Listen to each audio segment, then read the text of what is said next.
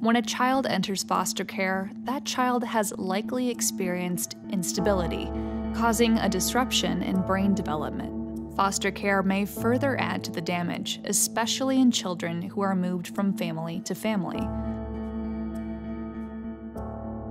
Do I think, as scientists say, that multiple foster placements affect brain chemistry? Uh, yeah, 100%, definitely. Um, I know when I think about like where I am in life compared to my friends around the same age who grew up with semi-normal families or more normal than multiple houses. Um, there's definitely just some emotional differences and some just overall like mentality differences on, on life, uh, where we want to be, where we want to go. There is still debate among scientists on how much damage is coming from abuse and neglect or multiple placements. But researchers say forcing a child to endure those placements can disrupt the neural connections in their frontal lobes. Most affected, researchers say, are the brain's prefrontal cortex and the HPA axis. The prefrontal cortex manages a person's inhibitory controls. It manages self control, basically the ability to make good choices, and holding back from making bad ones. Difficulty with inhibitory controls can lead to school failure, discipline issues, and often causes a child to be moved to another family. Oh yeah, I mean, I've gone through multiple counselors. I've given multiple, I've been given multiple diagnoses, you know, depression, anxiety, um, all, I mean, all kinds of different things.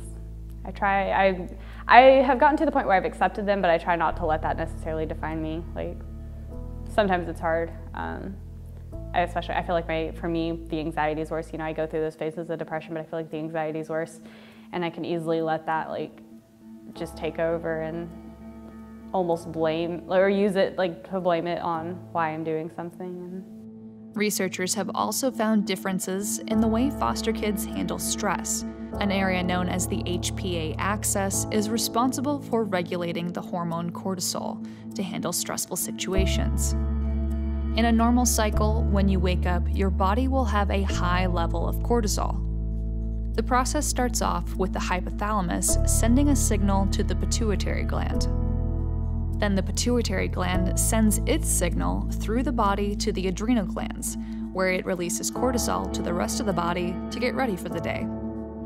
By bedtime, cortisol levels will drop close to zero. Foster kids who have endured repeated trauma have their HPA axes thrown off kilter. Their bodies were in constant stress levels that pushed their HPA axis too hard and too fast. The result is a downshift in cortisol. The cortisol levels become flat. When they wake up, it's low, and at bedtime, it's not low enough. In children, a dysregulated HPA system can lead to PTSD, anxiety, depression, and disruptive disorders. Foster care researchers believe there are ways to reverse the effects by providing foster kids with a safe, nurturing, permanent home. Find them a place to stay until then. I'd rather get attached for a small period of time and understand what love and happiness is for a small period of time than repeatedly get ripped from something that I feel safe in.